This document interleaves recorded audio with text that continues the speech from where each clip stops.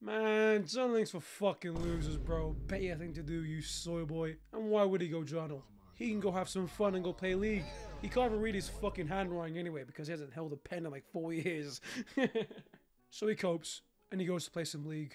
And even if he went and journaled, he'd look at what he wrote and he wouldn't be able to read it because he can't read his handwriting.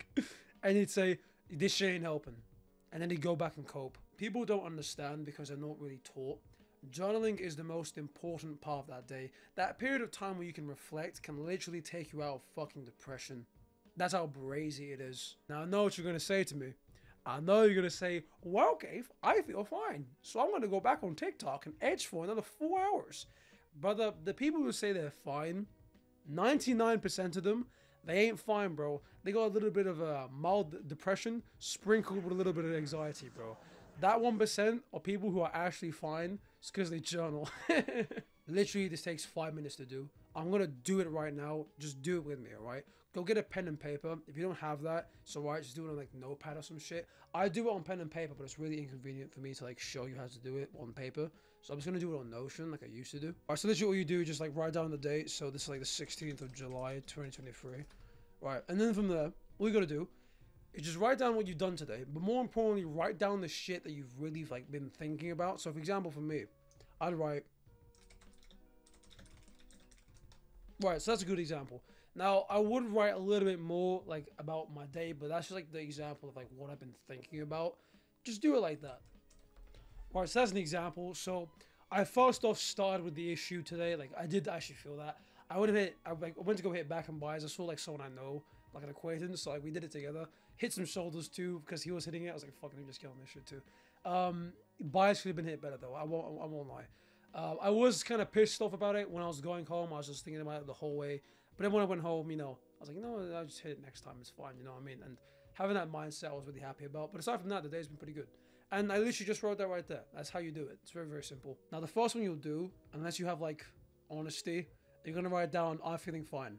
The next one, same thing. The next one, same thing. But eventually you'll start being honest if you're not already. And you just say, you know, I'm not fucking doing good. And that's what we've been fucking waiting for, bro. Congratulations. You felt like shit and you've recognized it and you've acknowledged it. You've been all the therapists. You've been life, bro. You know when you write down what bothers you continuously at the same time every day, by the way, you'll eventually recognize the pattern. And when you recognize the pattern, you understand what's actually making you feel like shit. So, for example, for me, I like to I get in my head sometimes. And I'll just think about the world we live in now and like how fucking hopeless it is. And I get into some black pill, not black pill, but like some really doomer shit. And then it really fucks me up. But I understand because I keep on journaling about it what the issue is, so I can actually tackle it.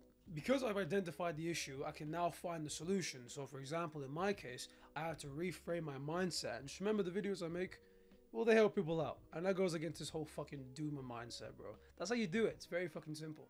I ain't a fucking doomer, bro. I'm not a fucking doomer. I just like I, I get like I think about it sometimes. That's it, bro. That's it. I'm coping. but when you journal continuously and you figure out what makes you feel like shit, you're on top of your mental health because you now understand what it is. And then from there you have the ability to go and like tackle it. But that's like another step. First off, just build that habit. Just journal consistently every day at the same time and build the skill up because it is a skill and just figure out what's making you feel like shit. Congratulations. Of course, again, do the other stuff after you consistently do this. I'll make videos on like the next steps, but just start with this. It's very fucking simple.